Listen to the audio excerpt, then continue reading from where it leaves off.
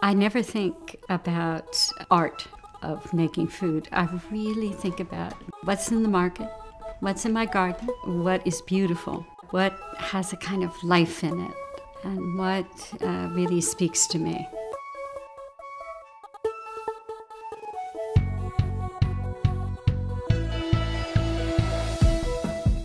I think the most important contribution that I've made is holding on to this idea of pure food. I never was looking for organic and local. I was just looking for taste. And I found organic and I found local. When I was young when I went to Paris the first time, and I, I felt like I had never really eaten before. You know, my mother wasn't really interested in cooking. She had a big family, and it was pretty much frozen food of the 50s. And then I went to these little French restaurants and to the markets. It made a big impression on me. And so when I came back, I opened a restaurant so my friends and I could have a place to eat. Ever since fast food came in in the 50s, um, it really has indoctrinated us in a particular way to do something fast, cheap, and easy. The cook was not valued, and the farmer was not valued. It was just sameness. We start thinking about that in everything that we do. We want entertainment like that, we want to build buildings like that.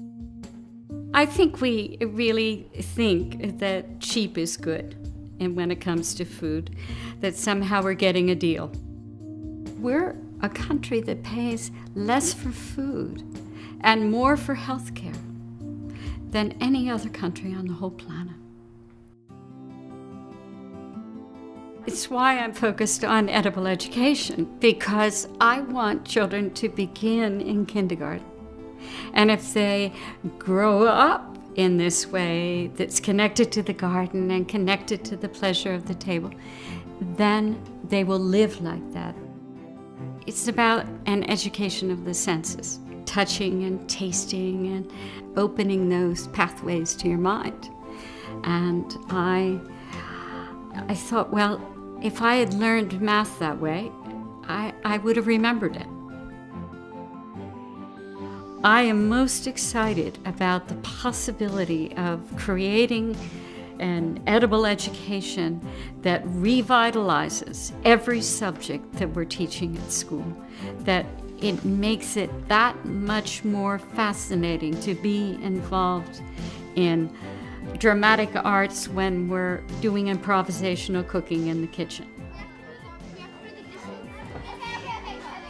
They understand what's happening to the land. They, they're worried about their future, but they're, they have a kind of optimism. And I know that from 16 years of working at the Edible Schoolyard in Berkeley, if you grow food and you cook it yourself, you're going to eat it. I'm just really unwavering in my commitment to pure food. I'm just, I, I, I just can't compromise.